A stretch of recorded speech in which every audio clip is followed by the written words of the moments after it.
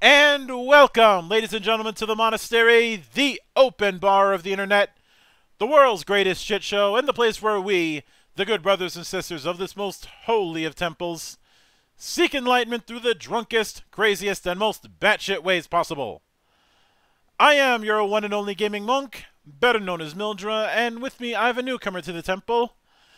A, ma- a, a man of a man of many a man of many talents. The one of them being the head honcho of Flagbearer Games, creators of the most the most patriotic hack of D&D 5th edition that you can possibly do and one that I may run every every July 4th like I like I play my favorite movie on July 4th. No, it is not Independence Day. You all should know me better than that. Uh but the game the game of course being nation being nations and cannons. And a game and a game where I can say, and may my wife refuse my bed if I can't deliver to your head the resolution on independency. Pat Luke Mooney. How you doing today, man? Uh, you got a remarkable singing voice right there. Uh, let, let me tell you. Um, I, I I better. I hope it's the Patriot, right? Is that the one we're talking about here? No, I meant I mentioned I mentioned 1776. Although I've I've used the Patriot in a few in a few memes. Um, one one of the one of them be one of them being ev- being every time I see the Yankees get their ass kicked in baseball because because and anytime anytime I get to give a middle finger to New York is a good day for me. Uh, ouch. Um, uh, I, I, as a, as a New Jersey uh, resident, uh, I, I agree. Um, but uh, as someone who works in Manhattan, um, or did uh, when working in places was a thing, um, mm, a bit of a surrogate home. So, the, so the weird thing about the Patriot, right, is that it gets it gets a bad rep by historians quite a bit. Um, deservedly so, right? There are lots of uh, places where it glosses over the bits of history, where it combines aspects from different figures together into one, uh, where it sort of abridges uh, or jumps the gap in sort of the timetable in order to tell a more compelling story, which is kind of standard Hollywood stuff, right? And and particularly, I'd say, I'd say it's standard storytelling stuff. It's one um I've I've had I've had my back and forths with historians and um one thing one thing that I've crit- one thing that I've been very critical with um with pe- with people dis- with people discussing um, the historical accuracy of of say of, of say a film, a book, or what have you is a lot of them do not know how to pick their battles. yep, you gotta you gotta gotta focus on. There, there is a difference between uh, a dogged reliance on historical facts and like a, a, a real attempt at verisimilitude, which is what I think the Patriot got right. You know, I mean, it did have its mustache twirling, like you know, uh, sinister serial killer British officer, and it absolutely glossed over the relationships uh, between the white planter family and their slaves that totally weren't slaves that were paid because that was absolutely a thing that happened in the South at that point in time. Um, but for the rest of it, and for the attempt to portray the style of warfare that uh, happened, you know, that that uh, guerrilla fighters would use, the ability of uh, it, you know, a, a handful of individuals to kind of cause a ruckus and, and, and really disrupt the uh, redcoat supply lines. And really what the sort of political situation on the ground was the kind of the tenuous back and forth and the relationships between um, ardent patriots uh, neutrals who really made up uh, a third or more of the people on the ground at the time um, and you know the, your loyalists uh, who you know fought for for king and country. Um, i think it did a good job at modeling those types of stories. Um, and that is something that Nations and Cannons has borrowed from a little bit, um, with, maybe with a, a, a, bit more of an eye to historical detail. Yeah, the um, the the big reason the big reason that I and the there's a couple there's a couple things to note when I say that a lot of his a lot of historians um don't know what don't know when don't know um how to pick their battles. Um, First, I I, of, I often see I often see a fair amount of historians and fair amount of people who do do these kind of accuracy checks. Um, like call call this kind of thing Hollywood call it this kind of thing Hollywoodization or some derivative of that of that term. And for me personally, I have to just sit back and go. And you think bards didn't embellish 500 years ago? Story t- story embe- story embellishment is not new. Espe- especially especially if you especially if you look at say oral traditions from from the distant past. Mm-hmm. Oh, I, I, I know it well. Um, yeah, it's and there's also like what makes a folk hero? Like what is a folk tale right? A folk tale is the embodiment of a particular archetype or a type of story you know um, and what it means for a community. Um, and it, it's larger than life. It takes a hero and kind of you know puts them uh, you know on the shoulders of a giant and and lets them loose. Uh, and and tall tales were very much a part of you know the sort of uh, the way that uh, information was exchanged, particularly on the frontier of, of colonial America. But um, you know, there there is a kernel of truth in them as to you know the types of characters they speak to um, were emblematic. They were the iconic uh, you know stories of their day. And and so that's sort of you know one of the things that we've done um, in our historical research. Um, so we we've created a system uh, in fifth edition. I, I, should give I guess a little bit of the spiel, right? But like you know we've created a uh, a campaign setting for playing historical adventures in uh, the fifth edition of can I say it the the, the world's most popular role playing game? No, no. Um, hey, hang on, hang on. It, it, we I'm I'm gonna keep um, in, in I'm gonna go as close as it comes to keeping it Wak- Wakandan in here. We don't do that here. We here, okay. We are not. We are not. We are not legal. We are not legally obliged to use the right to use the right words, the right language, or anything like that. We are in the monastery. We don't give a fuck. All right, all right. I, I, I just got, got done, you know, writing up the, the very detailed OGL copyright page. So forgive me if I'm uh, a little uh, skittish about name drops here. But um, so yeah, so it's it's a uh, campaign setting for uh, 5e D&D mm-hmm. that um, is is built around allowing you to play with all the toys uh, that you would have in the 18th century um, in a completely uh, mundane world um, and finding ways that you, we can replace things like spell casting um, or like some of the uh, really extraordinary abilities that make sense in a fantastical setting um, with these with similar kind of larger than life um, aspects that um, hew to themes from the 18th century but you know uh, are also still grounded in in uh, in history, grounded in in you know sort of the the factual evidence and and uh, particularly you know uh, the technology that was available at the time because the age of enlightenment had so much you know development um, in in the sciences in uh, you know, uh, the concept of uh, liberty and rational thought, right? Um, where there's there's lots of interesting ways you can play around with things like that and adapt them to the framework of, of 5e's mechanics. That's what we've we've really tried to do. Now, with that with that in, with that in mind, to kind of to kind of rewind to kind of rewind a little bit, um, I'd like to go. I'd like to delve a little bit into the humble beginnings. So. Sure I'd like what I'd like you to do is walk me through your your um, first introduction to role playing games and what was it that made it stick. oh boy. Okay. All right. So now now we're we're working all the way back. Um, I like uh, many, I'm sure, um, was that kid who bought you know the player's handbook, uh, but didn't have any friends to run it with, and just spent hours and hours and hours, you know, in middle school, like lovingly turning those pages until they got all wrinkled and uh, and creased up. You didn't have any I had I had friends.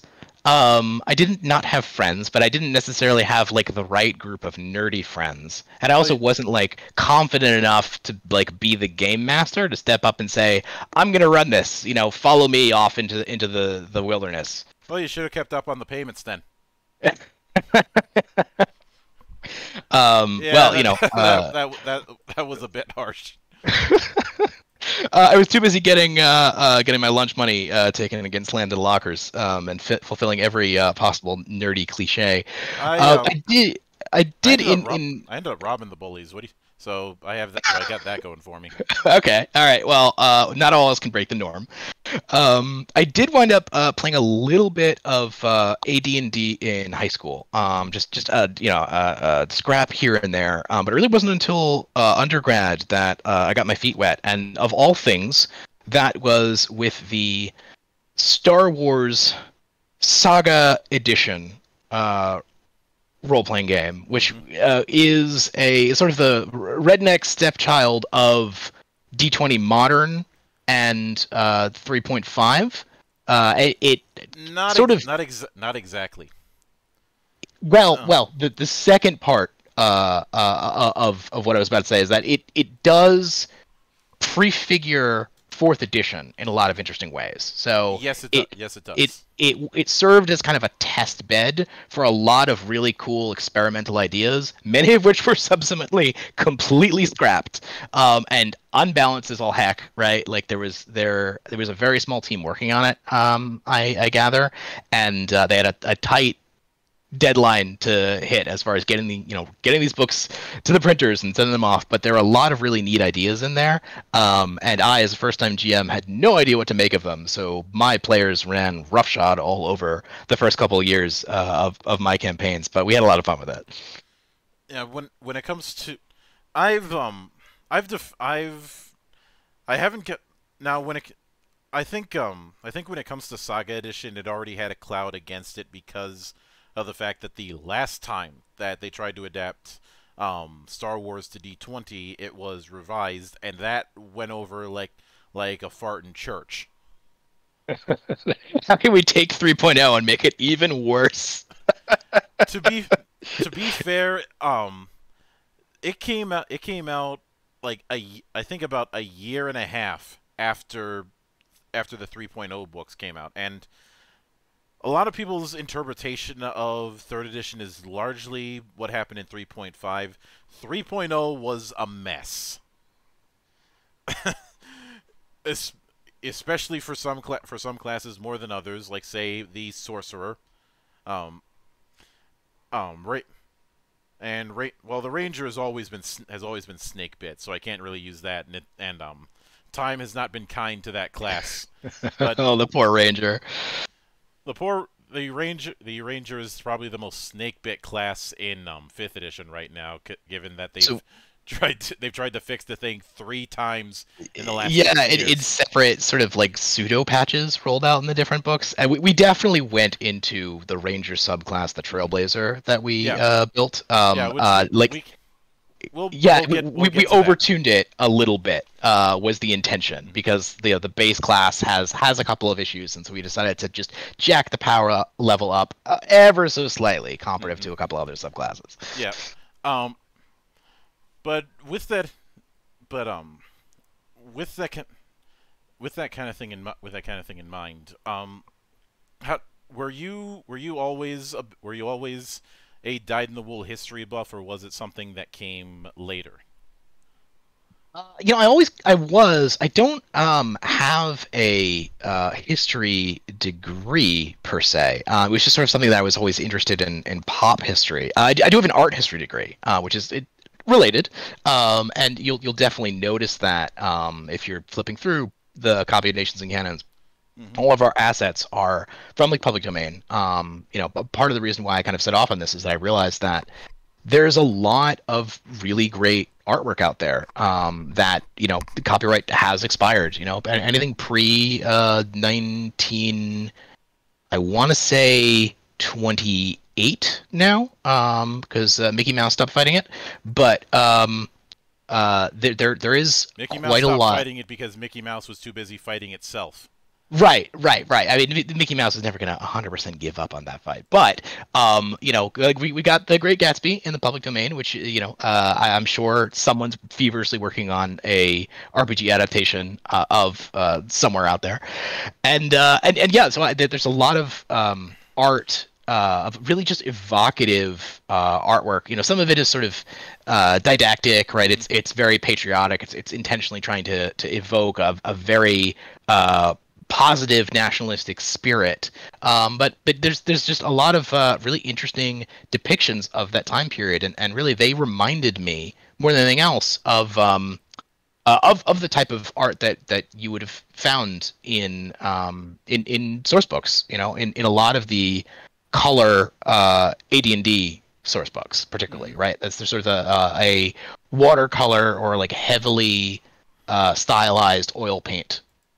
Well, you're um, you're not too you're not too far off in in that in that regard, because because um, because um, role playing has always existed down a bit downstream from th- from that particular era of warfare and wargaming.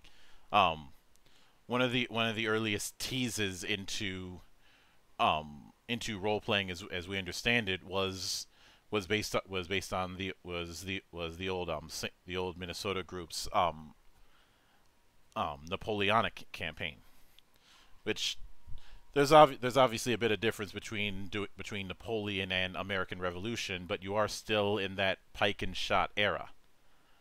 Uh, well, it's the era right after the pike and shot. Um, pike and shot, uh, if you want to get technical, um, ends roughly around um, the Glorious Revolution, right? So like 18, yeah. sorry, uh, 16 uh, 80s. Um, you know, it, it kind of it stretches, and those sorts of infantry tactics are still used, particularly in, in places like Eastern Europe um, or the Middle East uh, with with the Ottomans, where um, you know uh, you, you didn't have the the latest developments in military doctrine. Kind of mm-hmm. they, they, they rippled out.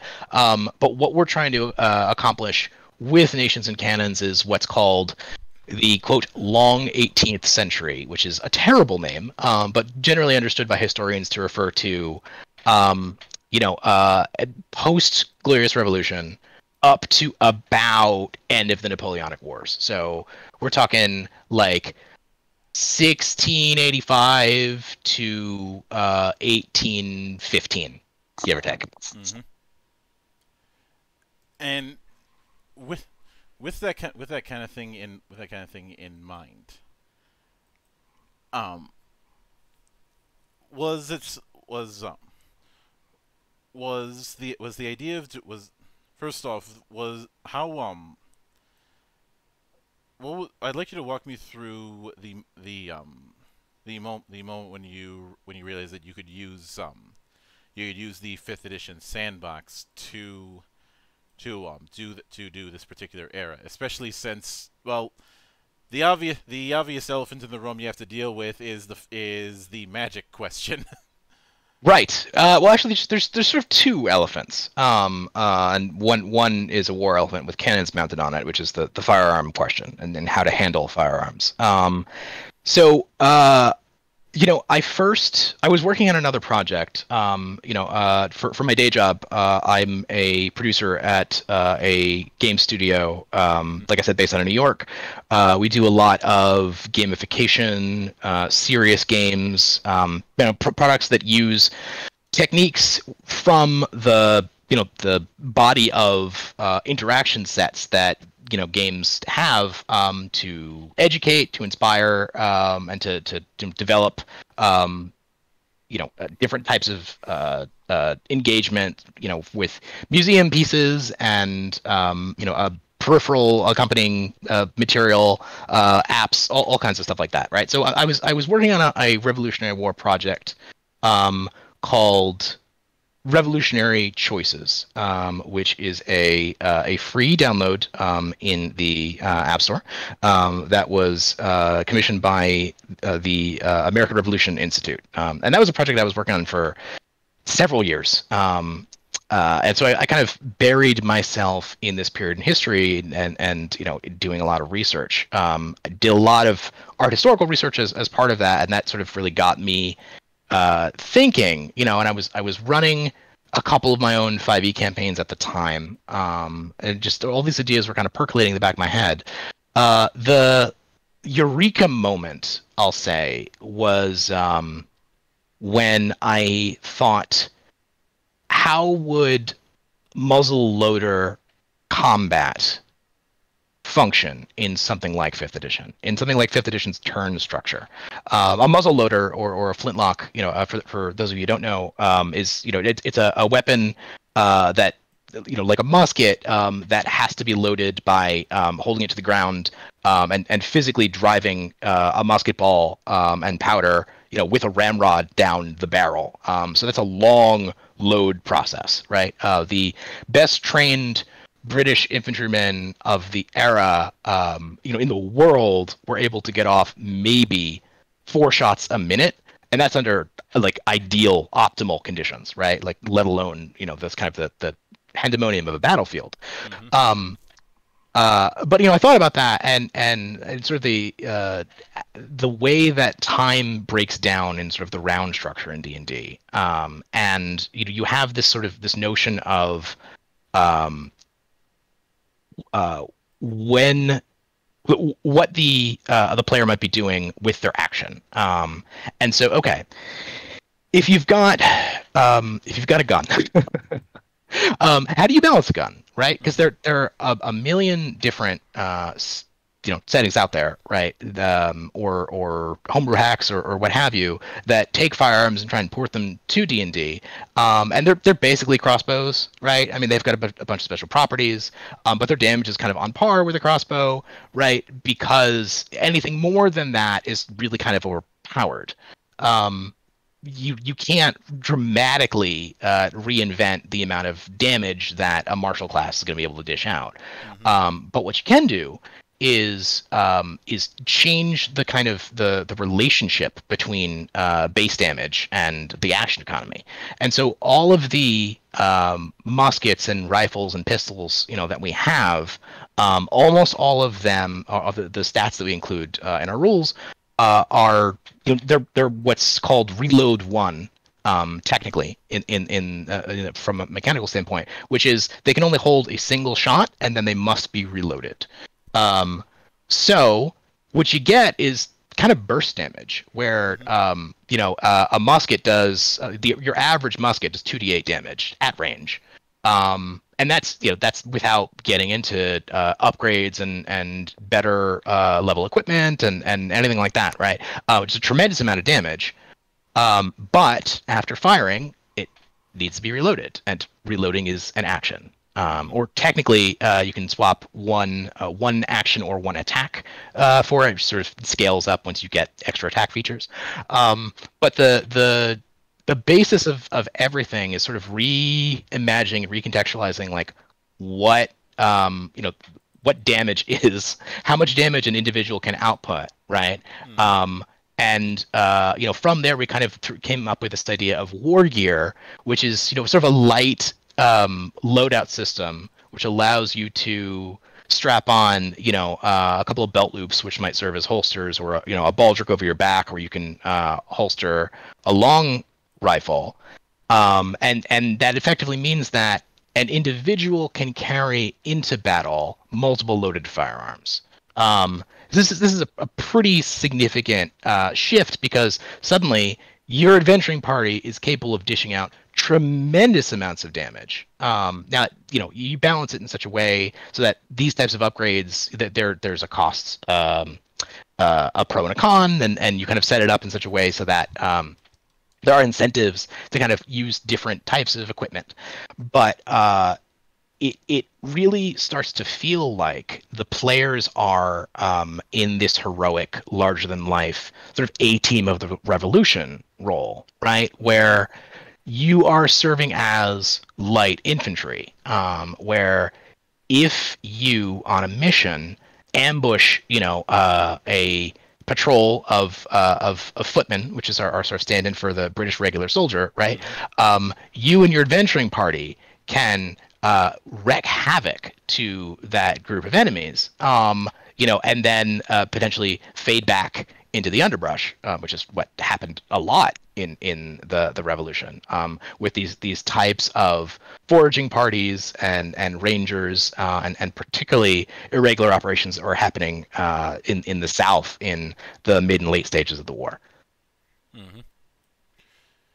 Now, with now with that with that in mind, the other the other thing that I was curious about is because bal- balancing guns is one thing, but I think an, I think another question to um to consider to consider is how do you, is balancing guns against uh, against other forms of ranged weaponry, like say bows.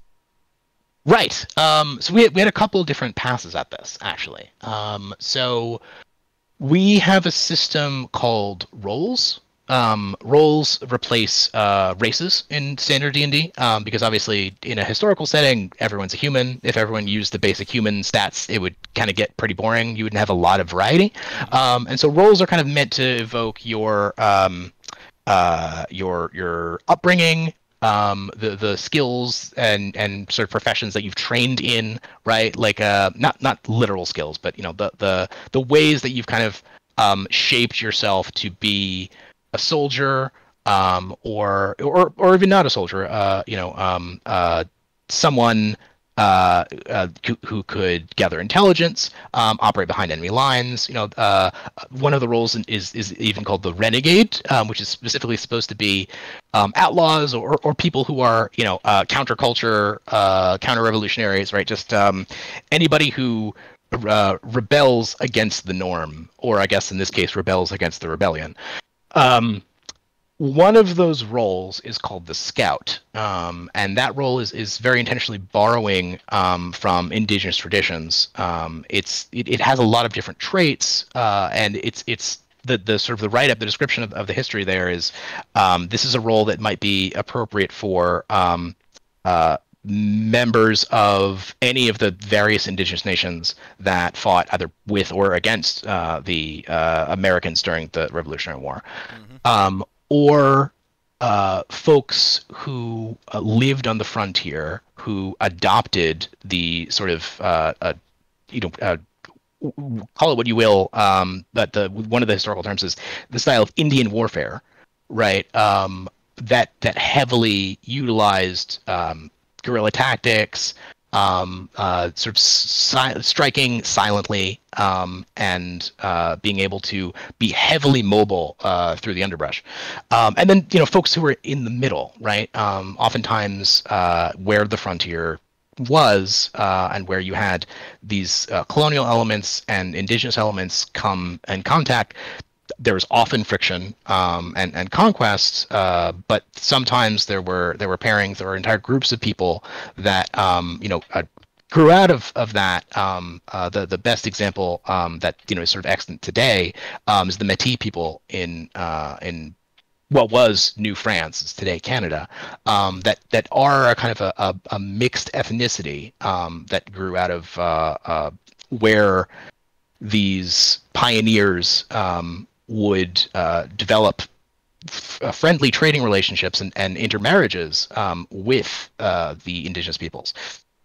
And so the scout role um, has a number of different traits. Um, one of them they get is I think it's called natural weapons, um, uh, where which effectively is a, a buff to the damage of uh, simple weapons. Um, simple weapons, simple uh, mar- melee weapons, and also simple ranged weapons, and specifically um, the uh, longbow as well. I think the short bow is normally a simple weapon. The longbow is a, a martial weapon. We, we call out the, the longbow specifically uh, to include it in that feature. And, and so that makes um, anyone using those weapons a bit more powerful.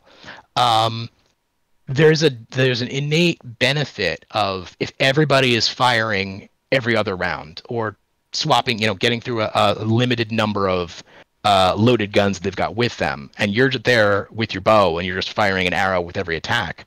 That also, you know, th- th- that there's a sort of a tempo change there. And the last thing that we tried to do um, to kind of uh, give a benefit to that um, was we built out a poison system uh, because you know th- was very much at the time. Um, you did have uh, poisons used in hunting um, and in some cases tribal warfare um, between uh, the uh, groups like the Cherokee Nation um, and the Muskogee, uh, and among others. And, and, and this this becomes uh, very prevalent. The sort of the further south you get, uh, you know, as, as the toxicity of animals kind of becomes more and more um, uh, extreme, right? So it, it, especially in in um, Mexico, Central America, right? This there's there's a lot of utilization of, of poison um, and poison on the battlefield um, in kind of a limited capacity. Uh, but you know, the if, if the the fantasy that we're trying to convey is that you are this kind of you know elite, you know, undercover or behind enemy lines operative, then yeah, you might have uh, a dose of poison or two with you. Um, and so we have some tools that allow you to you know conjure poisons that you you have you're not you don't need to spend all of your money on on being able to actually be able to do damage output, but uh, applying those poisons to arrows and having that be a, a slight damage uh, buff as well. Mm-hmm. Now, with with that in mind, I'd, I'd like to I'd like to get into the um, the fact that you've you've you have you have we already mentioned some some of the changes when it came to the whole role thing for um for your for a character's origins. So I'd like to get into the classes thing since we dipped into that a little bit, but I but sure. I but I kept but I wanted to hold off on do on doing a deep dive on that until we until we were until we dedicated um, to that. Um, so, uh, Ranger was our big bugbear, right? Where we were trying to think, you know, um, how does spellcasting make sense how do we how do we flavor this in a way that fits? If you look at the Rangers spell lists, you know, um, a lot of those spells actually do kind of make sense in a mundane context, right? Like things like um, uh, pass without trace, you know, mm-hmm. uh, or the um, any of the you know abilities that let you um, uh, set a trap or um, uh, alarm, right? Um, uh, things like the um, some some of the, the light curative elements, um, and, and even some of the ranger spells like Hunter's Mark. I think you know it's it's it's very it doesn't really have uh, a supernatural element uh, to it at all. Hunter's Mark um, doing more damage with the power of racism. um, well, or, or, or you know, against a specific target. It doesn't need to be uh, uh, against all I, all orcs. Uh, it, it yeah. might just be that orc. Um, because fuck because fuck that guy in particular. Fuck that orc in particular. Yeah. Um, but you know, like, but some of the other ranger spells are a bit they're harder to grok, right? Like you know, like rangers get access to uh, water breathing and water walk and you know wind wall and, and, and stuff like that. And and ultimately. What we realized, uh, my uh, collaborators and I, was that um, we can't get rid of magic in 5e because the game would be boring if it's just martial casters. I mean, magic is one of the main fundamentals of, of how the system works. Um, having access to you know a limited resource with like dis- powerful discrete abilities is a, is a really valuable role playing tool. And so we came up with this idea of um, uh, what we called gambits. Um, and this is similar to how the Artificer works, if you're familiar with that uh, it you know it, it is just a reflavoring of magic. All the rules are fundamentally the same, but when someone you know quote casts a spell in nations and cannons what they're doing and what we encourage players to kind of come up with clever explanations for is you know uh, a a trick of uh, of of gumption or daring do right? Um, uh, pulling the wool over someone's eyes uh, fast talking them uh, you know stepping up back into the shadows or slyly setting up a trap um, you know uh, in, in just a couple of moments so that when an enemy walks by, they can trigger it and be surprised. It, you know, it, it's it's ways and and kind of some uh, a couple narrative tools so that you can um, use a lot of the baseline spells from 5e um, in a mundane world, and the other component to that, you know, um, was we came up with new gambits. I think almost 30 of them in, in this printing, um, and and those are really those are our bread and butter they're supposed to evoke like what a what non-magical casting could be like what what could be a cool powerful kind of limited but like also you know um uh borrowing from things like warfare of the time. Um, I already talked about poisons, um, uh, colonial medicine um, with you know leechcraft and and balancing the of the humors. Um, this notion of uh, rabble rousers and criers and you know uh, the these uh, speakers on the corners of uh, storefronts and and streets who would just do their best to persuade folks um, to, to declare for one side or the other, right? Um, so there's a lot of like rich kind of uh, material. Oh, uh, espionage, right? There's so much to mine there in terms of like the sort of weird, sneaky, like almost modern uh, intelligence gathering systems that um, you know uh, things like the the Culper Ring and Washington's other spy networks and the sort of uh, their counterparts among the British um, and the whole apparatus that ultimately convinced Benedict Arnold to defect. Um, there's a lot of cool stuff there that we've built into these you know these gambits um, as as these these discrete mundane spell effects.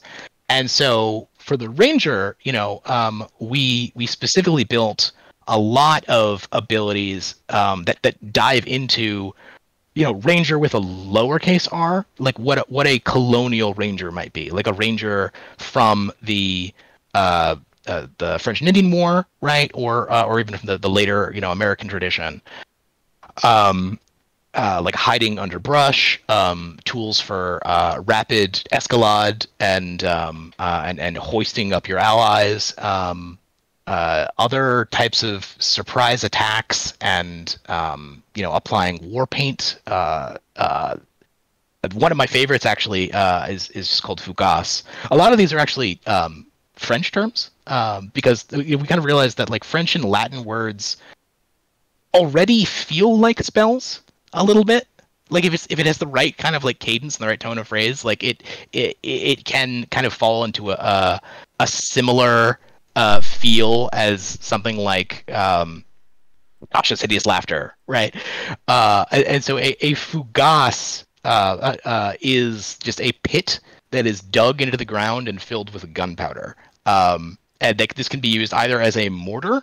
Um, when you dig the pit, you kind of angle it in a certain direction. So you, you point it, you know, over there, and then you uh, you pull the trigger basically by um, uh, detonating a length of wire, uh, triggering a length of wire that detonates gunpowder, and just blasts forth, you know, all the rock and rubble that you've buried um, in this gunpowder pit. Uh, uh, uh, at, at, that destination, or um, you just leave it there as kind of an improvised landmine. Um, and there's there's lots of, of weird stuff there coming out of frontier warfare and coming out of uh, the the the strange and crazy uh, tricks that these types of irregular fighters would get up to when they were resource limited. They had to um, double down and use the best of their environment and use the best of what they had on hand. And so that's the Ranger subclass that we created called Trailblazers, trying to evoke that sensibility. And and now and and with that with that in mind, you do have, as I understand it, you do have one brand spanking new class that isn't a subclass of, a, of something that already exists, and that is the Firebrand.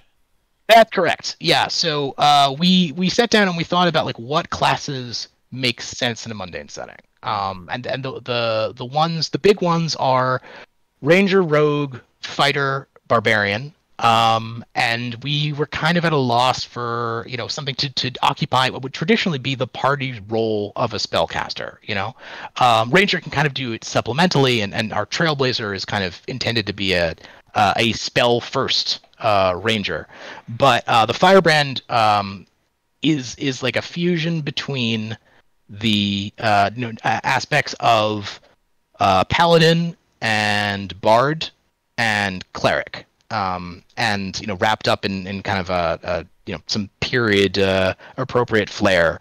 So uh, they have two subclasses at their disposal. Uh, one is called Demagogue, um, who is you know the the, uh, the who vicious mockery is their bread and butter. They have bonuses, uh, you know, to, to deploying psychic damage and, and, and a number of demoralizing effects. Um, and and they're uh, the sort of um, angry, uh, venomous leader whose whose vitriol uh, will either um, uh, just uh, completely um, debuff enemies in the battlefield, or in a social scenario, right? Um, they get one ability called Tar and Feather, which lets them run the mayor out of town. Um, if they roll well, uh, it, it also can backfire. So if, if they don't roll good, then they get run out of town.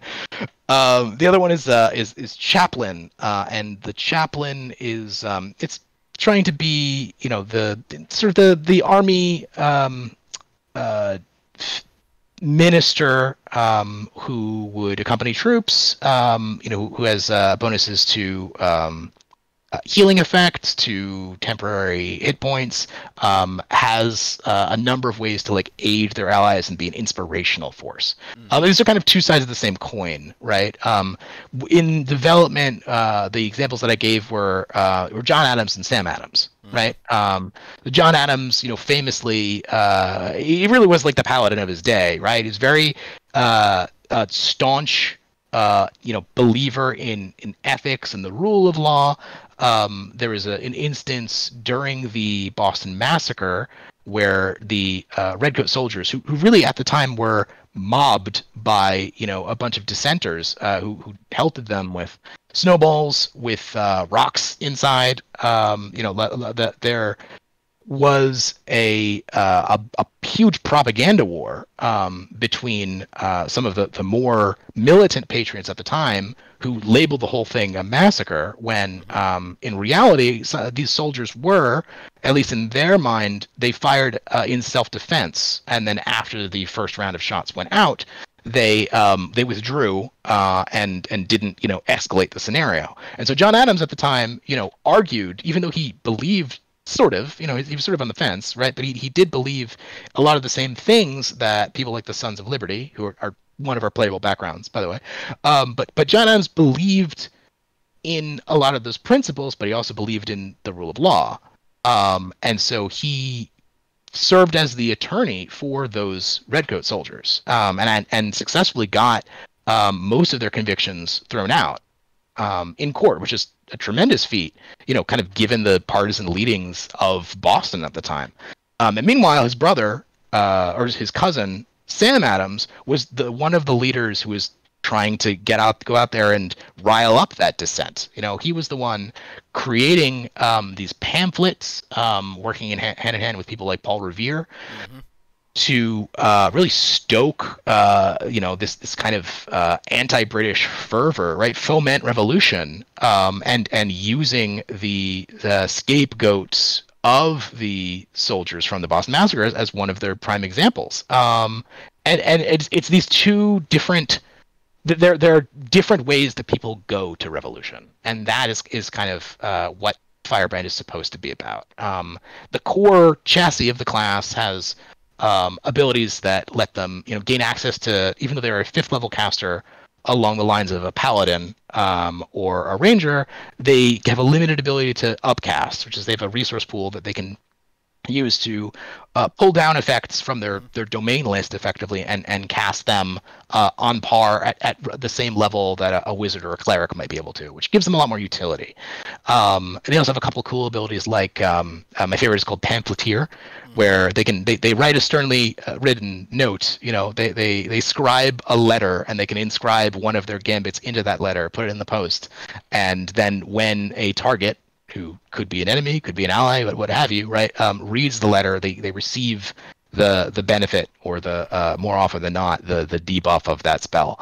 Um, you know, so the the it, it is the how uh, would influential uh, folks, um, you know, uh, people uh, of letters, people leading the call to revolution, what skill set would they have, and then kind of what uh, what would their tactics be? How would they they choose to um, to to go about uh, you know uh, joining the cause? Mm. And that's something that we, we think is really important. Is that you know not to necessarily paint the um, Revolutionary War in this rosy light. Um, you know, there, there's a lot of stuff that happened, and, and there were war crimes, and there were atrocities, and they happen on all sides, right? Um, mm. uh, and uh, I, I think that's that's a really fertile space for role playing. You know, I, I, think on the one hand, if you just want to be your colonial A team who's just going in muskets blazing, um, you know, blowing blowing up a bunch of redcoats,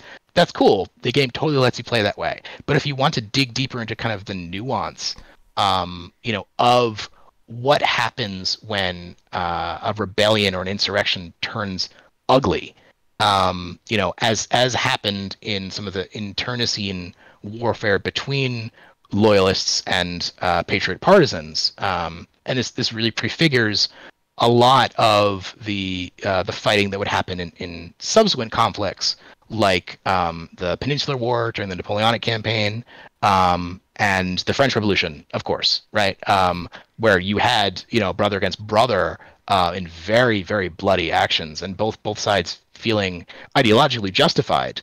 Um, and I think that that that is really if your play group wants to lean into that, um, I think that can tell some really neat stories because you're fighting for what you believe in, not to you know save the world from the evil necromancer.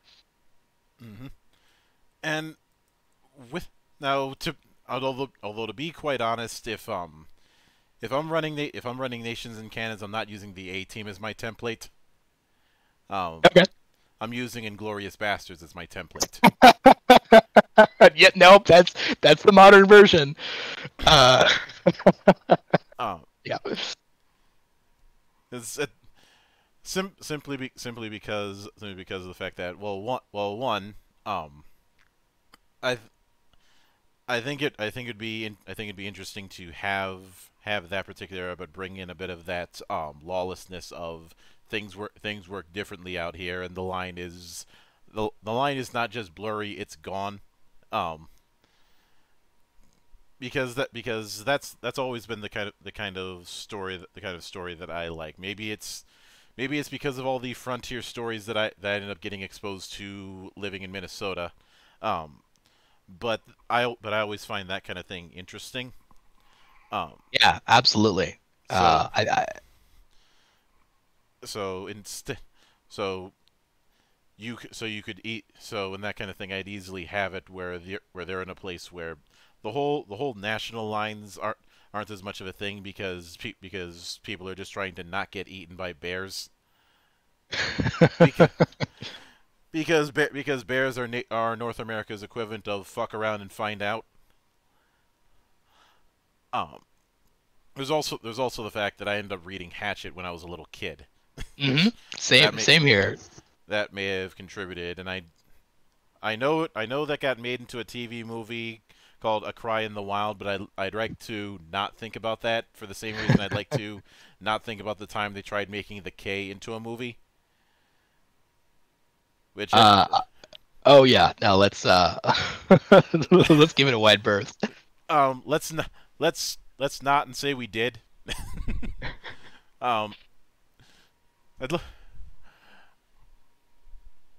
but and, and that's that, those types of survivalist stories actually yeah. like that that is another uh, that's another like sort of uh, well of inspiration that we we dug into um, mm-hmm. because uh, when we were coming up with ideas of how enemies might run you know um, the on the one hand, you know, you are going to have a lot of redcoats and a lot of different types of redcoats and and you know uh, redcoat officers and redcoat cavalrymen and and how uh, you know they, they might use different tactics and diff- different uh, be trained in, in different types of fighting. Mm-hmm. Um, but also for, for, for variety's sake, um, you gotta have beasts. You gotta have something, right? Uh, yeah. There's there's there's all that uh, that wildlife, and you know, okay, so there are already stats for for bears, right? For black mm-hmm. bears and, and and brown bears.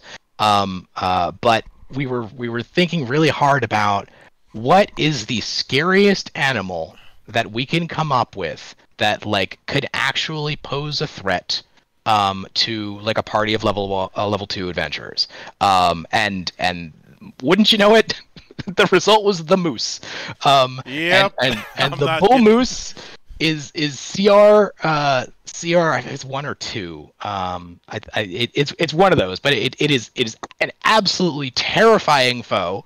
Um and if you see a moose in the wilderness, um like if you got all your muskets out, like maybe you got a shot, but boy, you do not want to piss that thing off. No, it's just I um to be quite to be quite honest in that kind of situation, I th- I think shoot unless you unless you can get the eyes, um shooting that thing is a waste of good bullets and well, try um, the idea of the idea of shooting for of shooting for the eyes with with considering considering rifle accuracy around that time, especially if you had smooth bores.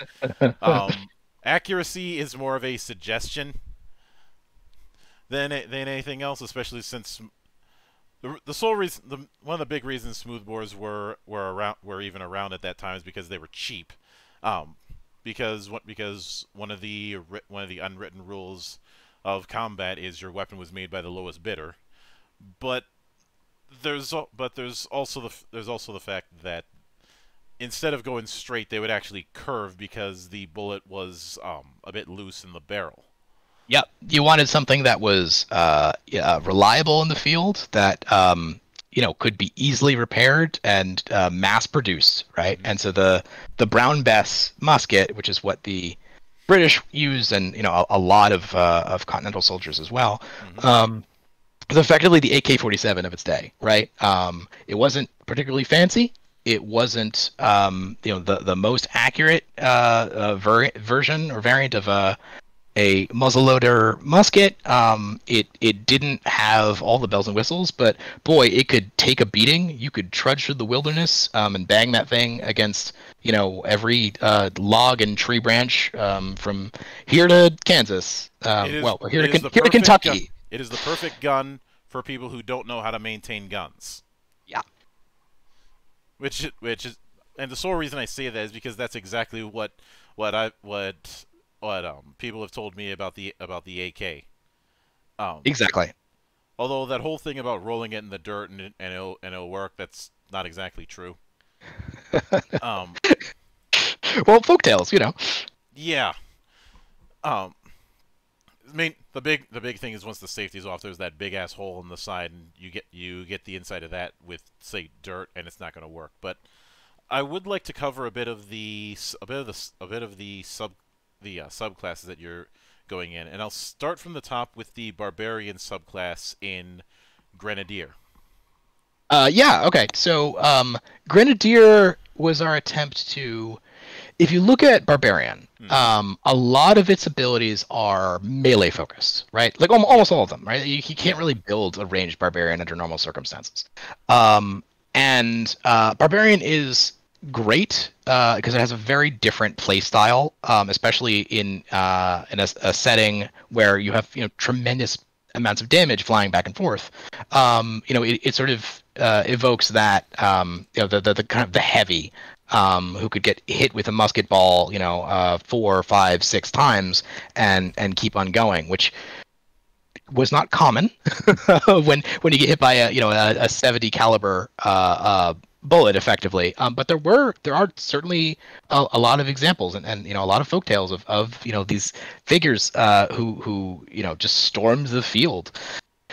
Um, anyway, the barbarian, the grenadier is built around uh, the notion of grenades um, and and also throwing weapons, uh, and so it kind of marries this idea of um, you know grenade a grenade might be kind of uh, a rare or expensive thing. Um, they get a couple abilities to I think summon grenades at a certain point, so you know they they can uh, utilize their specialty there. Um, but also you know uh, if you're a grenadier, you might be uh, pounding around with a boarding axe you know, or or uh, a hand axe, which is you know the, the stats are, are basically a, a tomahawk, um, and uh, and hurling that thing and applying your, your rage bonus to it, um, and and and a couple other ways to just get up close um, to uh, get within throwing range or melee range, um, and and just do as much damage as possible uh, to the enemy line. And grenades are very valuable um, and and when, when we're talking about grenades, let's be clear, we're talking about those, you know, the things you see in in like pirate cartoons, right? Like it's a big crude hunk of iron with a lit fuse at the end of it, uh, just stuffed full of gunpowder. Um, and they they were not reliable weapons. Um, and so we we have uh you know the the misfire rules that that we have. Um, if you misfire your gun, your gun jams. If you misfire at a grenade, well, that grenade detonates, uh, you know, in your face um, uh, to catastrophic results. Uh, and so uh, the the brilliant part about the grenadier is that they can use reckless attack with gr- grenades and thrown weapons. So they want to be recklessly attacking because they really don't want those grenades, you know, uh, uh, blowing up in their hands. Um, and so that that reduces the chance of them rolling that dreaded nat one um, and sort of a high risk, high reward uh, strategy. And uh, grenades are very effective at tightly packed enemy formations, like redcoats who are lined up to, you know, unleash a volley fire. Mm-hmm. And when it comes when it comes to when it comes to the, that brings me to another to another thing. Um, I, I realize that now given the, given the fact that um, vanilla D and D isn't going to be using these sort these sort of thrown explosives all that much, um, how what's your what's your take on the idea of using scatter in, com- So in uh, combat? Yeah, so scatter. Uh, we we we have a property called scatter for firearms. Uh, that's certainly it's supposed to be like uh, things like a blunderbuss. Get get it, and it functions similar to a grenade. Um, and that's um, you you make an attack. Um, and if you hit your the target, um, the creatures within you know an X radius for for most scatter like buckshot weapons, it's I believe uh, five foot radius, um, have to make a save or they take the weapons damage as well. Um, and there's oh, there's a lot of different ways we could have done that. Um, there's a secondary mechanic that we have also called um, uh, close uh, um, close quarters or uh, it might be uh, point blank. I think it's point blank, um, which is supposed to be like you've got a shotgun.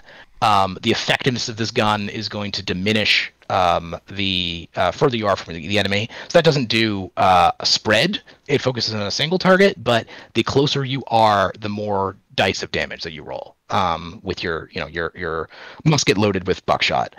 Um, and we had a lot of different conversations about trying to figure out how to integrate rules. D20 Modern, you know, uh, has uh, I I can't list, you know, like 10, 15 different firearm properties.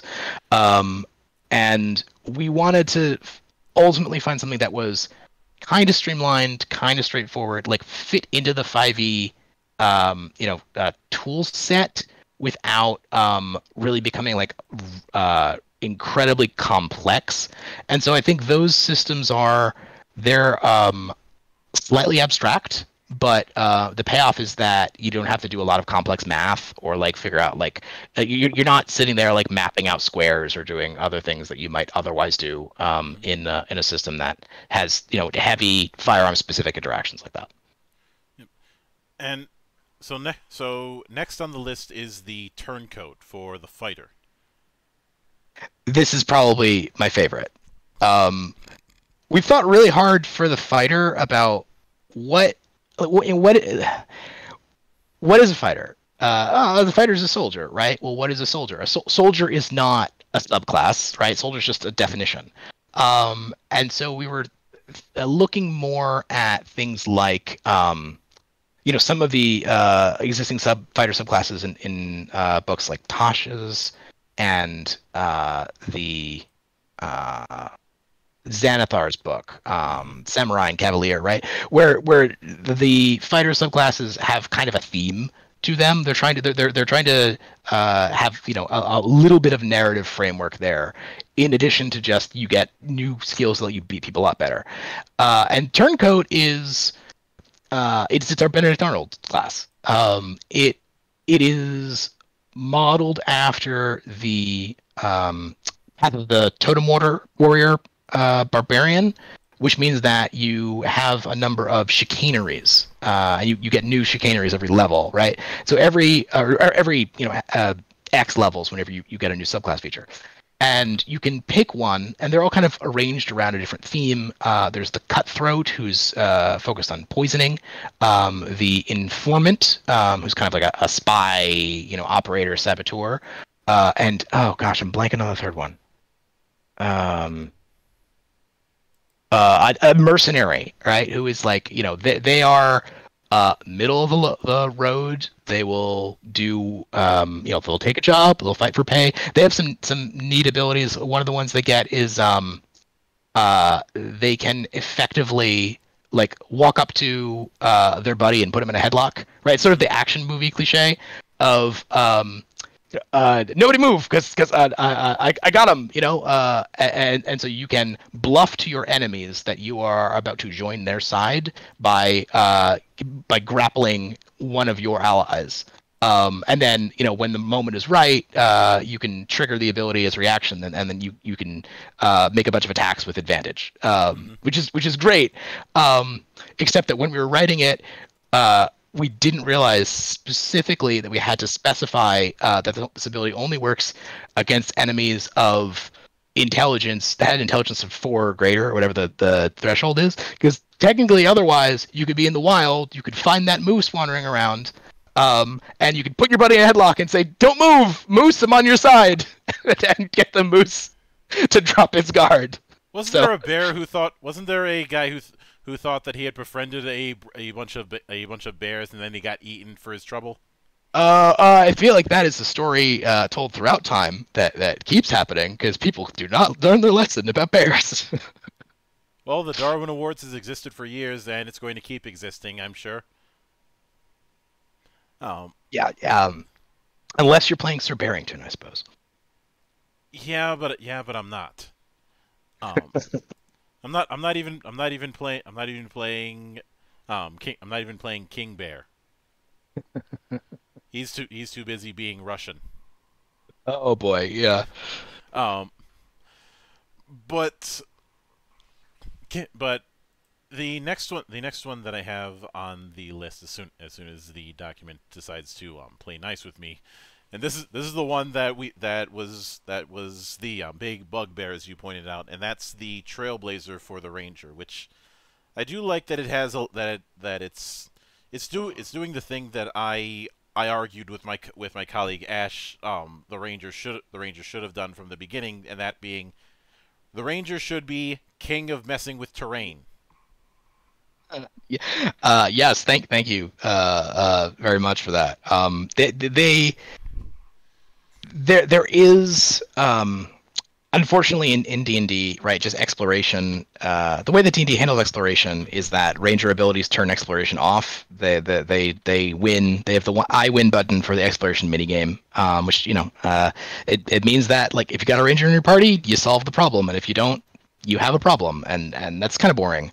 Um, we we that's a whole nother conversation and, and definitely a system a subsystem that we're interested in uh, tinkering with in the future um, but the trailblazers specifically they have a bunch of abilities um, and i feel like the internet is going to crucify me when i say this but they have a bunch of abilities that are uh, hinge off of their favored terrain um, and I know nobody likes favorite terrain, um, and everybody replaces their option of favorite terrain with like the new features that were given in the Xanathar's book if they play if they play a 5e ranger. But Trailblazer specifically, um, it, it has almost uh, domain spells, including a, a cantrip um, that they get based on their choice of a terrain. Um, and they have a number of other abilities that you know increase as they level.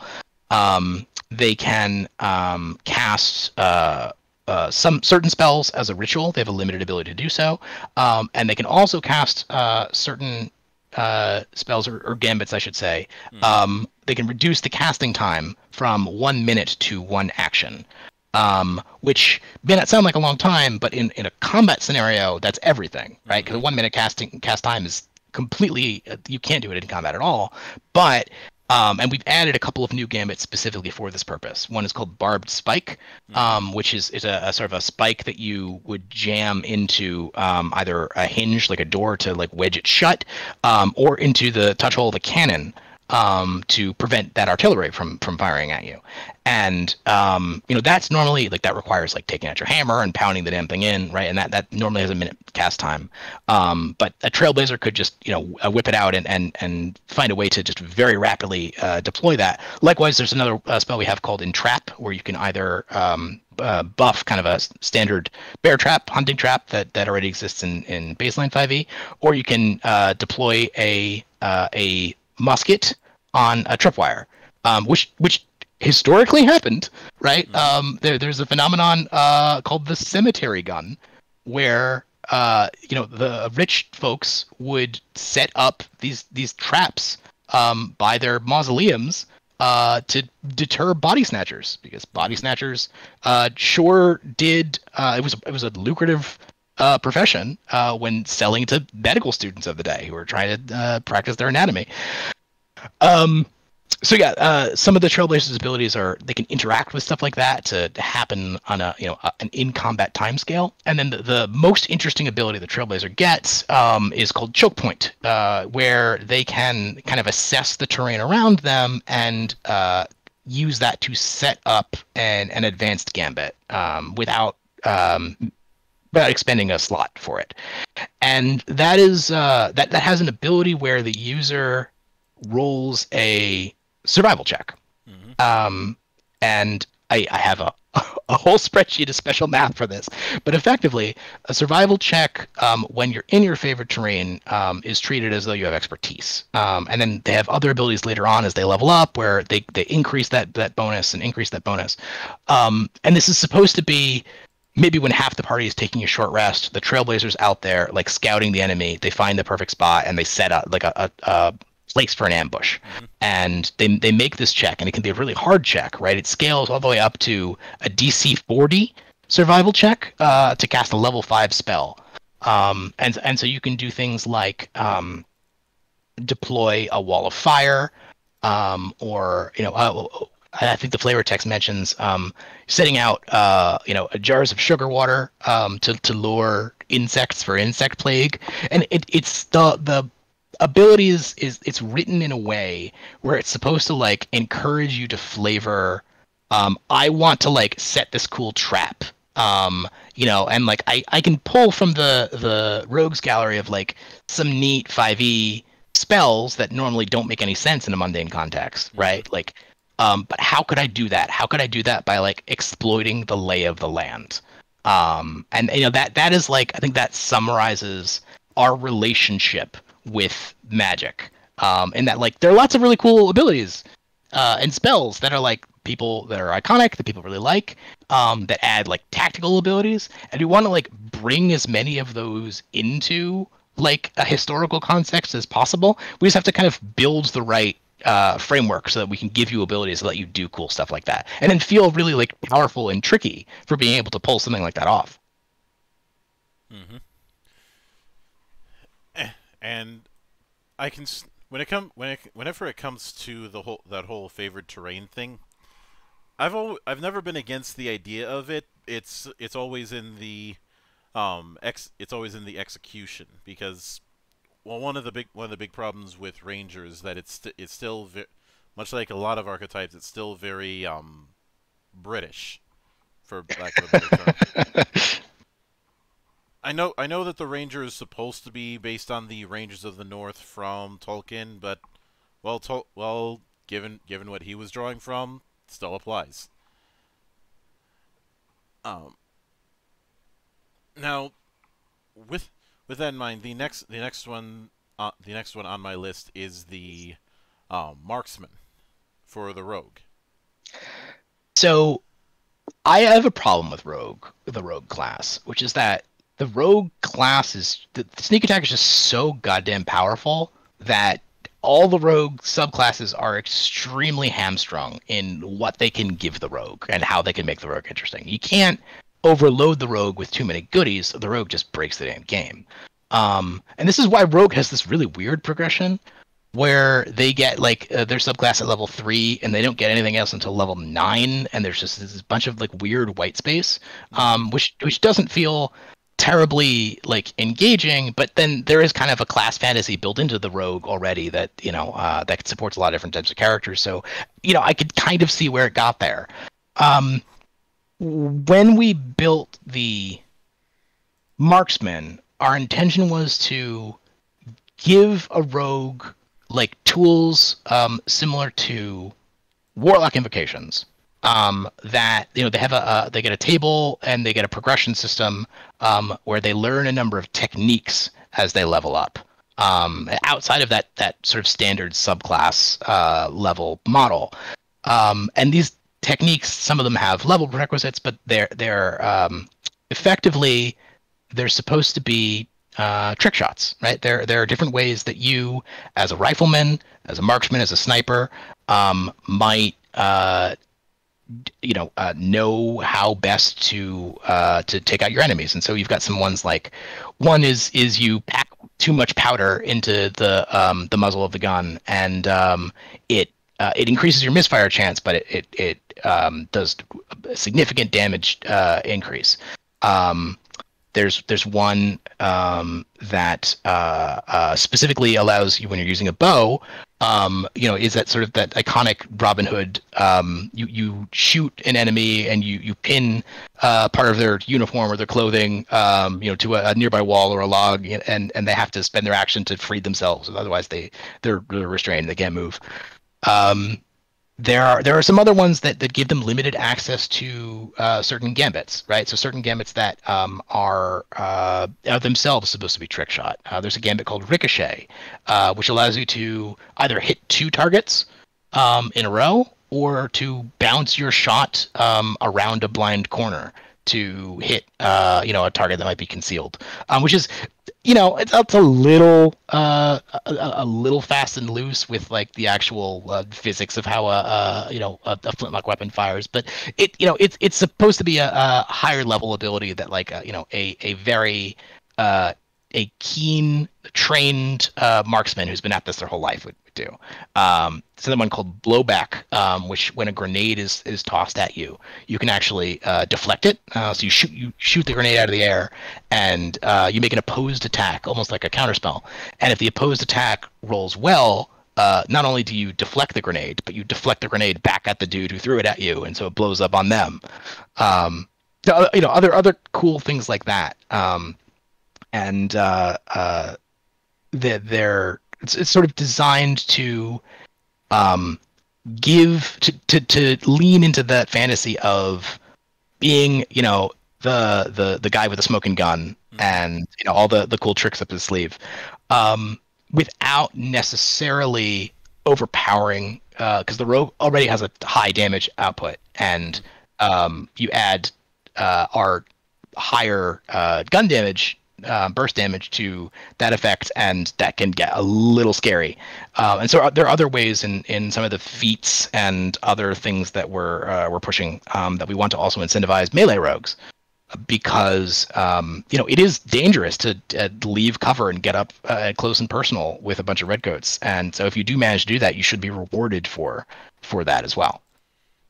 Yeah. Now, and besides, through through this, we won't have to we won't have to deal with a bunch of uh, a bunch of fishing for fishing for sneak attack slash backstab. This isn't this isn't Dark Souls PvP, people. Look, I love I love Dark Souls as much as the next guy, but you know I'm right. oh, oh no, I, and and I know that um, you know the the the sneak attack rule, and this is one that everybody gets, you know, uh, everyone has sort of their own weird interpretation of it. But um, the important one is that if if an ally is within your target and you're using a ranged weapon, you can apply sneak attack. So this is critical. Uh, rogues rogues don't have uh, martial ranged weapon proficiency, which is important um, because uh, you know in nations and cannons. We, we don't treat guns as a separate proficiency category. Um, it, it there are simple uh, firearms and then there are martial firearms. Mm-hmm. And so rogues are mostly proficient with uh, pistols. And um, you know, uh, a rogue might be there, you know, with a brace of pistols, and um, if his buddy is there, uh, you know, who's gotten up with a bayonet uh, to uh, pin a, a red coat down, and he pulls out his pistol and takes a pot shot um, and applies sneak attack, that that often is enough to drop an enemy soldier uh, in and of itself, and that's that's, that's a really cool, um, you know, interaction, and um, especially when they're dual wielding, um, because you can dual wield pistols, right? And a pistol doesn't do it still does a decent chunk of damage. It doesn't do extraordinary amount of damage compared to like a musket or rifle, mm-hmm. but um, you know, you you have to be within uh, I think 30 feet because the range of uh, flintlock pistols is very very short. Um, if you think about you know uh, those dueling pistols, right, and and you know like the, like the famous Hamilton duel, right, duel uh, dueling at at uh, 30 paces. Um, that that was those were the most technologically advanced uh, pistols of their day, right? And those were highly incredibly expensive pieces of machinery. Mm-hmm. And everything else, like any like a coat pistol, right, or even like a like a horse pistol that an officer might carry, um, it's basically a, a sawed-off musket. and so you got to be pretty damn close, which which works really well for rogue. Mm-hmm. Now, when it now um when it comes to it, when it comes when it comes to feats, you've got you've got a few it you've got a few that you're at, that you're adding in, and I know that um um but despite the fact that Wizards of the Coast is deathly afraid of the feat system, um not not everybody is not everybody is afraid of as afraid as their own shadow as Crawford is. Um, uh, but, as as an independent publisher, no comment. Look, we we we here in the temple hold these truths to be self-evident that all men are cremated equal. um, but I'd like you now. Obviously, we can't go through all of the feats, otherwise we'd be here all night. Um, but I'd like I'd like you to go through a few highlights of some of the feats that are at, that you're adding in that reflect the changes within the setup. Sure. Yeah. So what I was just talking about actually is, is the ruffian feat, mm-hmm. right? And this is this is one that kind of breaks the rules, um, but from a very intentional point. The ruffian feat, um, it, it, it is borrowing actually from some old 3.5 stuff where you could, as a rogue, you could multi-class, and then you could gain back, um, you know, uh, like a level of uh, sneak attack dice as if your rogue level was higher. And um, this allows you to be a barbarian rogue, right? Um, who then, you know, if, if, if you are a level one rogue, um, level, let's say you're a level three rogue uh, and uh, a level two barbarian. Um, if you take a fourth level in Rogue uh, and you pick up the Ruffian feat, um, it allows you to treat uh, your Rogue level as if it was two levels higher. So basically, you get an extra dice of sneak attack, um, as if you hadn't multiclassed, hmm. and that's that's super powerful. It only applies to melee sneak attacks because um, it's the the risk reward, like I said, is is much higher. Um, but but barbarian rogue multi-class is probably one of my favorite combinations um, because you can get up close and um, we have added a uh, a weapon um, that has finesse um, and can be used with uh, strength. Um, normally, I think weapons, uh, finesse weapons, can always be used with strength, but it's sort of a unwritten rule, right? It, it, it's uh, it's not really clarified. But um, if you are a barbarian rogue, you don't even really bother with dexterity. you just get up close, you reckless attack with strength, um, and you have advantage, you automatically apply sneak attack. And if something shoots you, whatever, you're raging. So you know um, you can you can soak up uh, a good deal more punishment than a rogue normally might be able to. Mm-hmm. Um, and so so that is an example of it's a feat that we built and it's a it's a powerful, but we're trying to facilitate uh, additional like play styles because the class pool is a lot more limited right than a standard adventuring party. We want to um, build things in such a way so that you can kind of spec out your character you can customize them you can kind of have a role um, you know and and feel like you you have more control over you know your your play style. Um, there's, uh, there's, we have a, a suite of uh, of feats in there uh, for different uh, fighting styles. So um, you can specialize in, in rifles or, or carbines. Um, the pistol one I think is, is one of my favorites. Uh, so that's if you're dual wielding pistols. Um, it it lets you use uh, pistols that aren't light. Um, so you can use heavier pistols uh, in in both hands when you're dual wielding, um, similar to the normal dual wielding feat. And it has a stipulation where when you reload, uh, when you reload a pistol, uh, you instead reload two pistols. So you can be that guy who just marches into the battlefield, guns blazing, um, and just every turn you are taking, um, you know, two shots at uh, at two different targets, or maybe at the same guy you really want to kill, um, and uh, and just occasionally um, spending your action to to reload when you run out of the the pistols that you've that you've brought with you, um, and then be able to just just keep guns blazing. Um, it also has a uh, a feature that maybe not everyone will use, but this is sort of trying to evoke the, the kind of the pirate uh, sensibility of um, when you make a melee attack. I think it's when you make a melee attack, you then have advantage on your next ranged attack against that target, or maybe vice versa. But it's it it um it's it's meant to like facilitate that like a sword in one hand, uh, pistol in the other, uh, boarding action Mm. type of character. Um, when you mentioned when you mentioned the whole thing with multiple guns and just keeping shooting, the the thing that immediately comes to mind is the is the is the old line. I've got a bullet with your name on it, and I'm gonna keep shooting at you until I find it. hmm Yep, absolutely. Uh, Or or the whole thing of, of if I fire enough bullets, I'll eventually hit something.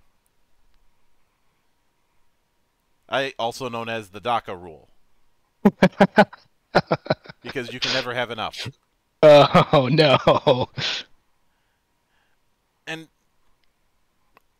well, well, um, that also that that that's that was one of the appeals with the muskets comparatively is the fact that you could is the fact that you could reload the thing significantly faster. Now, granted, we're now granted we're still we're still talking. You could only get you you're only supposed to be getting three shots in a minute, but that's still an improvement. Yeah, the, the math falls down a little bit if you think about it too hard. I, I recommend when you're running nations and cannons, you adjust the combat timescale from uh, uh, six seconds around to something closer to ten seconds around.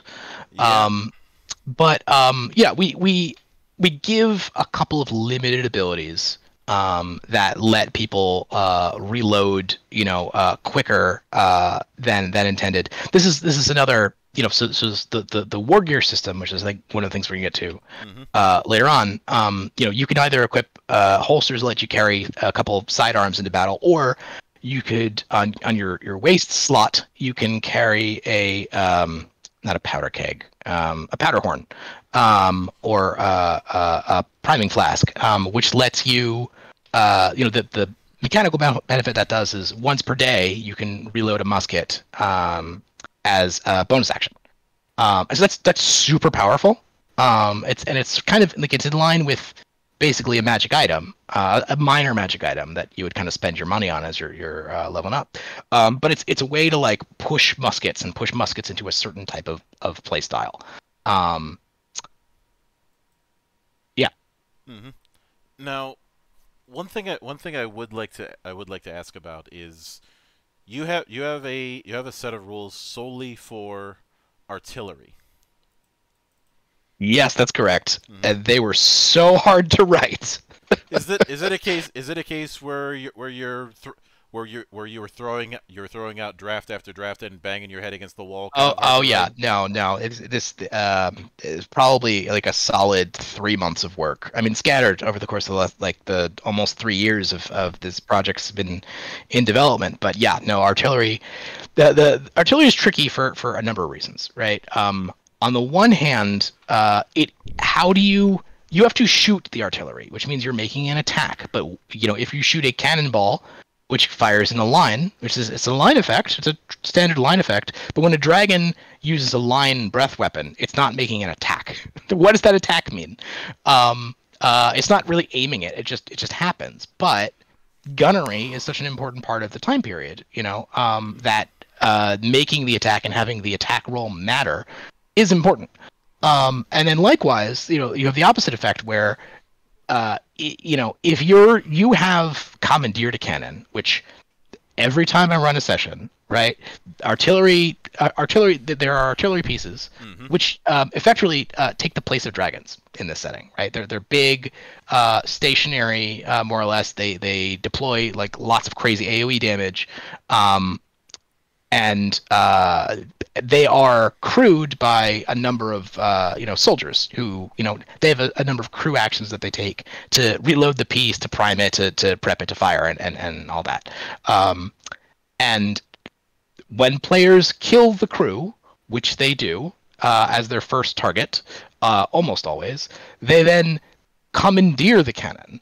And if the cannon was loaded before, like if they managed to kill it before it got off its first shot or in the middle of loading, right? Then they have a very powerful weapon that they can can uh, turn to their advantage, which which is is great. Um, it's also it's not a mobile weapon, right? Like they can get off a shot where they are. Um, but uh, in the cannon stat blocks, we list the uh, the weight of the damn thing, and it is extremely heavy. Um, and it's not something you can you know drag uh, through the woods uh, to get to your your next guerrilla target. Uh, but if you have an individual target, an individual cannon, and you're trying to shoot at a specific target, something like a um, like a ship, right? If you you're you're, on like fort mounted artillery and you're trying to you know uh, hit an enemy sloop that's coming into the harbor uh, to to deny it, well then that can't be an AOE shot because you're you are specifically making an attack against a discrete vehicle. Um, and so ultimately, what we uh, decided on was that um, artillery can be loaded with different ordnance. Um, and there are different types of ordnance, you know, things like uh, uh, grape shot and chain shot and um, uh, uh w- round shot. Um, and they're, they're kind of two different distinctions of round shot, right? One being the anti personnel, I'm going to shoot this cannonball, it's going to go in a line, it's going to travel you know, uh, uh, a mile long in a line, and any person who it hits along that way is going to get their foot blown off. And uh, what we call wadded shot, which is you know the, the type of shot that does specific uh, damage that's, that's meant to do damage to a structure or to a um, to a vehicle, and um, all of those uh, types of ordnance have a, a modifier attached to them. Um, and we try to make the math as simple as possible. It's, it's a multiple of three system where um, AoE shots ha- have uh, reduced range and reduced uh, number of damage die that the cannon would fire. So um, uh, um, the any one of your um, God, I'm I'm uh, I'm I'm blanking on the name now, but the the uh, canister shot, right?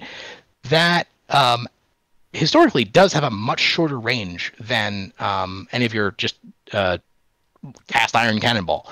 So um, if you fire a canister shot, you um, you look at the the table, and the table gives a you know a, a modifier of um, you know one third of the normal damage dice and one third of the normal range, and that you know we we have set up our cannon stat blocks so that that you know that hits a certain uh, level of damage, a certain level of difficulty, um, that shot will be um, more powerful than um, something like uh, like a, a, a line shot that, that's that's meant to go for a longer distance, um, but maybe isn't as uh, as brutally effective. Canister shot, famously, it's it's like turning a, a cannon into a shotgun. Um, it's just uh, pouring a lot of um, uh, musket balls in, uh, in, into like a metal canister um, adds sometimes rocks you know wh- whatever you had um, uh, at, at, on hand. Um, and then when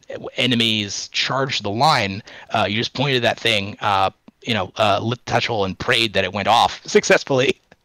Um, and if it did and if it was aimed properly it could mow down a whole line of men. Um, and so that you know that's sort of the balancing act. There's a little bit of an abstraction, and you know I think wargame uh, buffs may kind of depending on their persuasion, um, uh, may be up in arms or maybe a little sympathetic as to like how we've tried to model that system. Um, but yeah, we, we tried to come up with a good balance between usability um, and uh, complexity. And uh, the way that we actually handle attacks for AOE uh, effects is that when you make an artillery attack, it's a new type of attack, um, uh, and it is calculated based on your uh, d20 plus proficiency um, if you are proficient in martial weapons, mm-hmm. plus your intelligence modifier, um, because gunnery was the science of, of geometry and trigonometry uh, at the time. Uh, and so um, which which is is very interesting, right? The type of character who's who's good with a cannon is not necessarily the type of character you know who's who's like a, a, a very good sniper. No, and no, because largely largely because of the fact that there, you know how I you know how I did the gag about a bullet with your name on it. a, a um a grenade a grenade says to whom it may concern, and artillery says y'all are talking some mad shit for some really fine looking grid coordinates. yeah, yeah. Um, it, it's it's funny. I remember um, going to a museum and seeing like uh, Al- Alexander Hamilton. You know, it was like all of the school books that he had on campaign because you know he was he was going to college at uh, Columbia, um, which I think was then called King's College in New York when the war broke out, right? So he was still kind of trying to get credit for some of the things he was working on. Um, you know, his his law degree, um, and uh, so he had he had some law books and he had some artillery manuals. And boy, those those are some hefty tomes. let me tell you. That I would not want to, you know, uh, read in, in the middle of, uh, you know, Valley Forge. You'd prob you'd prob one you'd probably not want to read, and two you'd probably not want to get hit with. Oh, absolutely not. Um, the other the other the other li- the other line I could I could have used was, "Hey soldier, do you see that man over there? Yes, I do, sir. I don't want to. Fix that." yep.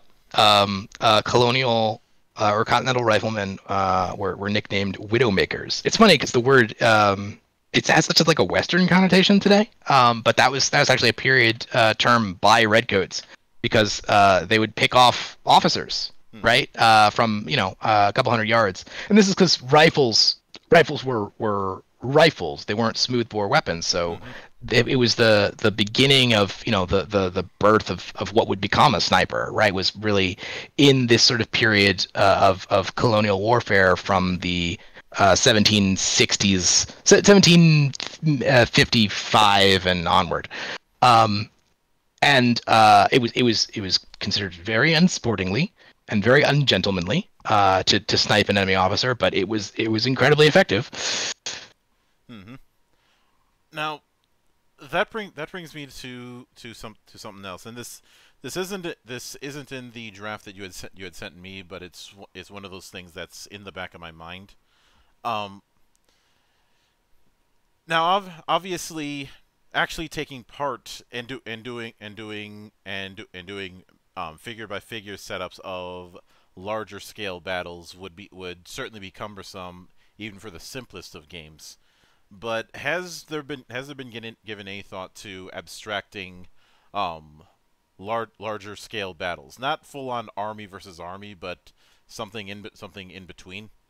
That's that's a really good question. Um, it's something that we are thinking about quite a lot. Um, we we there are a lot of different ways, and there's a lot of different homebrew that does this. That like you know sort of modeling uh, army based uh, clashes um, where a player is either a general and the player is sort of pulling uh, you know making command decisions and and uh, uh, against you know the the GM controlling the enemy commander, or there's a larger battle happening and the enemy um, you know uh, uh, the the player's mission you know contributes to that success or failure in in some way. Uh, there's there's a lot of things that we're thinking about. Um, this I'll say that that uh, this version of the core rules that we have been working on uh, for nations and cannons is, is really it's meant to be all of the fundamentals that you need in order to play a game set during the long 18th century.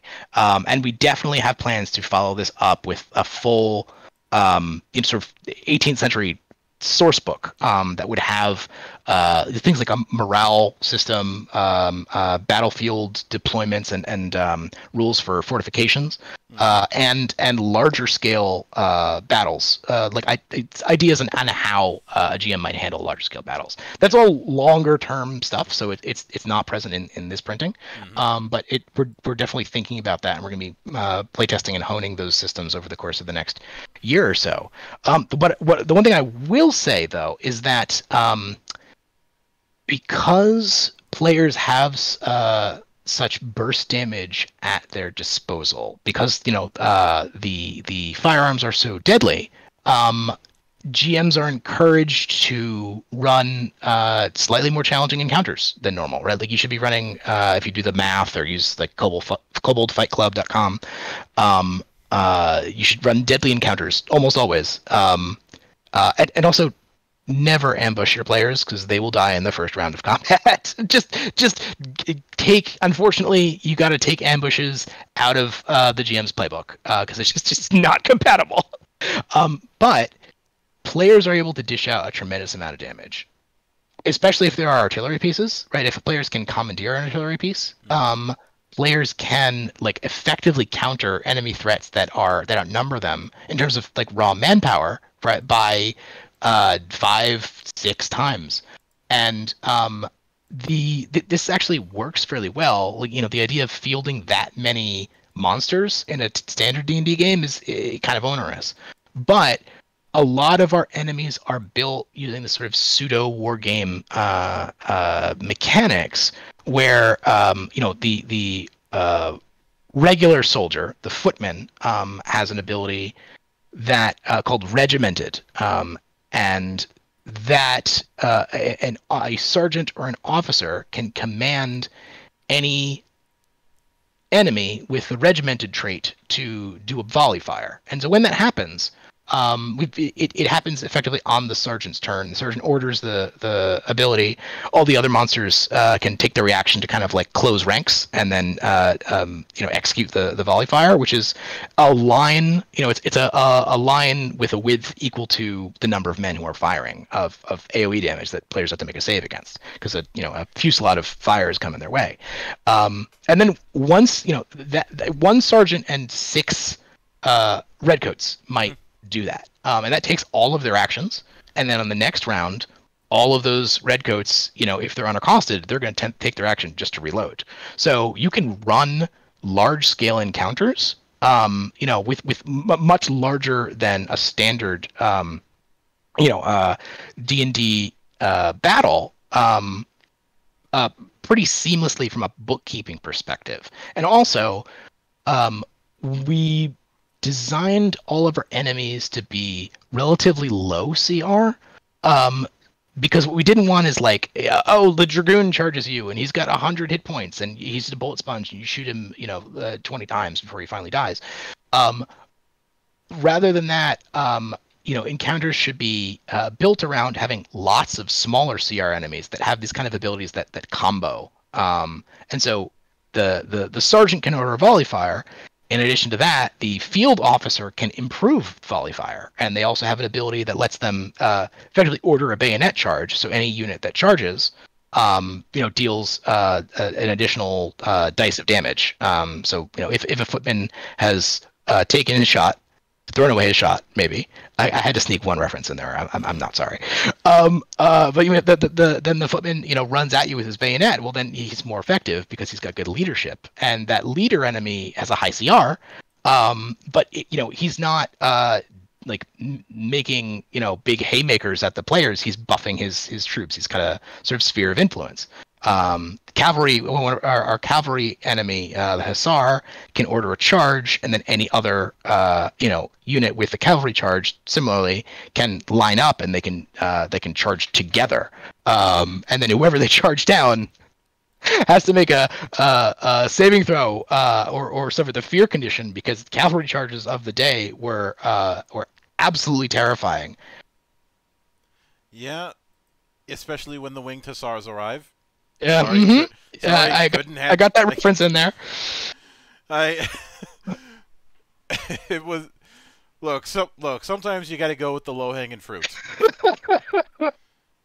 no, I couldn't. I couldn't write a stat block for Hussar without including uh, a winged Hussar's reference in the in the the Kavi fluff. So yeah, um, because even though we're trying even though we're trying to take the set the setting somewhat seriously, we've you gotta you gotta have a bit you gotta have a bit of fun because let's face it, the players will be doing dumb shit whenever whenever they can get away with it. Yep, yep. Um, and we we have a variant rule which I I strongly encourage GMs to run with, which is um, uh, different uses for inspiration. So normally the GM awards inspiration for quality role playing, yeah. but I think you know another good one to kind of fit with the battlefield themes, right, of, of a war game is if a player commits an act of bravery or self-sacrifice.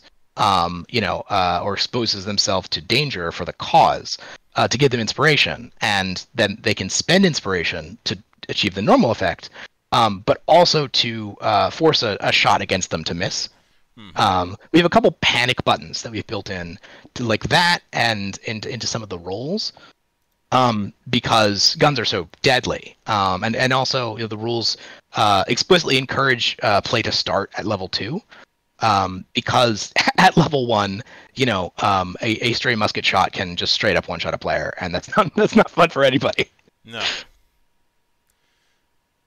And with with that with that kind with that kind of thing in mind, um, what like, and what are you, what are going to be what what are going to be the um, plans for um, nations and cannons going forward? So this version has been in the works for a very long time. Um, it's it's been a passion project, and you know we hit some snags unfortunately due to to COVID uh, slowing everybody down. Um, and and since it's been you know something that we've been working on on our own time while we all have our day jobs, it's it's uh, taken a while to get it just right. But I wanted to make sure that we had our grand reveal. Um, you know, when all of these rules are balanced and tested, and it feels like a cohesive system. Um, we are actually debuting at uh, Gen Con next month. Um, so from September, I think it is the 15th um, through the uh, 19th. Um, we're going to be there. We're going to have a booth. Uh, we're going to be selling uh, hard copies, uh, hot off the presses of our very first print run of the uh, the starter rules. Um, the other thing that's important is that the the core rules, um, uh, which uh, is, is a uh, I think is a 60 page uh, document um, uh, which has all of the uh, the basic uh, material, all of our historical material, um, but not our introductory adventure or the roster of, like 30 enemies that we've we've created. Um, but those rules are intended to be we want them to be free always um, because a big part of this this project is we want it to be available for for educators and for students um, for anyone you know who uh, wants to run a nations and cannons game for uh, you know for a heritage organization uh, museum after school program. Right i think this is this is uh, perfect ground. And and honestly c- uh, civics education has never been more important. Um, and uh, you know as as a designer, right? Like my my design philosophy around all these things is is to is for stealth education, right? Like you you, you lure you lure kids in with um uh, with the, the fancy uh, guns and explosions, um, and you know, uh, then in, in the back of their heads, right, you're also exposing them to uh, why uh, people were fighting, or you know, what the, the sort of the more complex issues of, uh, you know, conflicts between um, the different political entities that that made up the the army, the states, and the Continental Congress, or you know um, uh, the the ways that um, um, people of color uh, or or other disenfranchised groups um, or LGBT groups even um, did contribute to the war. Um, and have a lot of these interesting stories that then nevertheless kind of get glossed over because they weren't part of ultimately the um, you know the, the, the groups that um, were that laid the foundation for America, right? Um, uh, laid the foundation for an America that uh, was politically led by um, land-owning whites um, up until you know really the 19th century. Um, so that's part of our educational mission is we want this stuff to be available um, uh, online uh, to answer questions um, to, to, and to produce content uh, as far as adventure modules, you know, um, maybe on a a tri monthly basis because uh, we want to work on a campaign that covers uh, the entire breadth of the war from uh, starting with in our very first introductory adventure uh, that's that's in the book right now is covers the invasion of Canada, Benedict Arnold's ill-fated uh, quest to conquer our northern neighbor um, before uh, the war even got underway, which, considering Canada is not part of the United States today, uh, went about as well as to be expected. Mm-hmm. Um, so we, we have a whole uh, 17, 16 or 17 point uh, campaign that we're developing that's going to uh, touch the, the the the entire length of the war, and that's going to be our our primary goal uh, is, is putting out that content over the course of the next several years, uh, and then also you know doing a full a full book. Right. Um, this this printing is about 100 pages. It's all of the the fundamentals.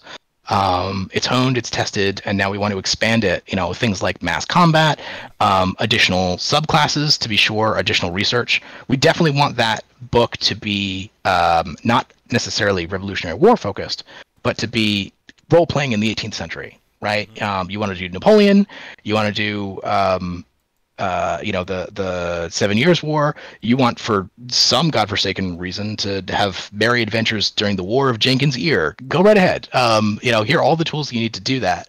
Um, and uh, uh, to kind of flesh out uh, that stuff, we have ideas for things like incorporating monk and artificer, which can work in a mundane setting, but with a lot of custom hacks. Um, and so that requires quite a bit of, uh, of additional work to, to make sure that they make sense and, and they, they fit the setting um, without it becoming too steampunky mm-hmm. um, or too wirefighty uh, also.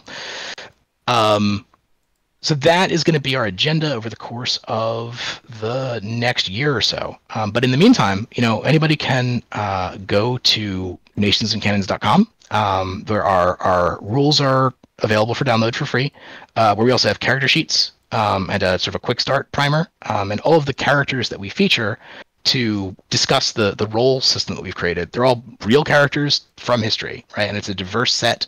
Um, we did our, our, best to find, um, you know, as as many different people of different cultures, um, and and women, you know, on the battlefield. Some of them uh, just just walking around brazenly. Uh, possibly apocryphal, possibly folk heroes, but you know, uh, some of them, you know, in, in disguise, which is its own kind of neat uh, uh, role playing aspect and uh, and and that stuff is is uh, all available. And you know, we just encourage any uh, educator or, or history teacher who, who wants to use it to mm-hmm. dig in. Now, I will, and I will certainly be looking forward to seeing how to seeing how that um, how that how that comes about how that comes about since there's there's a there there are there are a few there are a few angles that I that I like to do, especially when it comes to the that um un, that untamed almost almost frontiersman um approach because um to to quote 1776 not everybody is from Boston. yep. No, uh, we we definitely have uh, uh, some ideas in the way long term, but maybe you know doing a Lewis and Clark, a couple Lewis and Clark adventures uh, could, done you by could, You could prob you could probably do a one shot horror story of just of just um of just survi- of just surviving just surviving the night after the in- after the infamous um after the infam- after the infamous last day of George Washington's presidency. Oh boy. Uh-huh. Uh-huh. I don't know I don't know how true that story is, but given the amount of alcohol that w- that supposedly was involved, I'd like to think that there's some truth in it. I think it was like 30 kegs or something. They they have like they have the receipt uh, actually, because the tavern it's it's Fraunces Tavern in, in New York City, right in, in Lower Manhattan. It's still around. It's a kind of a museum bar, uh, and and like they got the documents, so um, maybe someone uh, someone uh, ginned up those docs. But if not, boy, that was a lot of alcohol. Suppose supposedly, if you convert it to today's money, it would be about it, the bar tab was seventeen point two thousand dollars. um and as far as far as as far as what as far as what was on the thing, um, I've told this story in the past, but it's all, but it gets but it never ceases being funny. Okay. 54 bottles of Madeira wine, 60 bottles of Bordeaux wine, 8 bottles of old stock whiskey, 22 bottles of porter ale, 8 bottles of hard cider, 12 jugs of beer, and 7 lar- 7 large bowls of punch. And that was Washington's party.